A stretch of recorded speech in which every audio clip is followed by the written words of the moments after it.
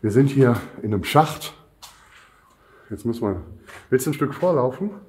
Aber dann hast du mich ja die ganze Zeit. Nee, das geht. Alles gut. Boah, hier sind aber ein paar äh, Tierchen, ne? Die hier so rumfliegen.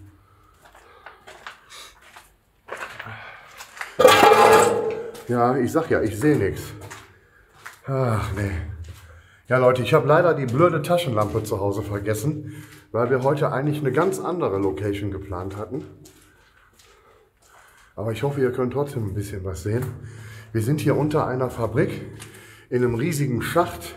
Der ist tatsächlich gewaltig und der ist circa drei Kilometer lang. Wir gehen aber nur in einen Teil jetzt rein, sonst finden wir hier nachher nicht mehr raus. Hier gibt es auch einen Bunker, der ist riesig, aber der steht unter Wasser. So, hier geht noch so ein Weg lang. Aber da ist auch Ende. Ja, da ist ein Irrgarten. Und da hinten Da ist auch Ende. Ja, da hinten geht es aber links weiter. So. Aber Leute, wie gesagt, wir, wir gehen tatsächlich nur bis hier, weil wir müssen hier echt aufpassen. Hier sind viele Abzweigungen.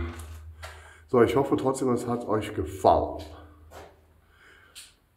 Leute, äh, hier ist noch ein zweiter Schacht. Hier sind damals die Stromleitungen lang. Auch hier gehen wir jetzt nicht zu weit rein, nur ein kleines Stück.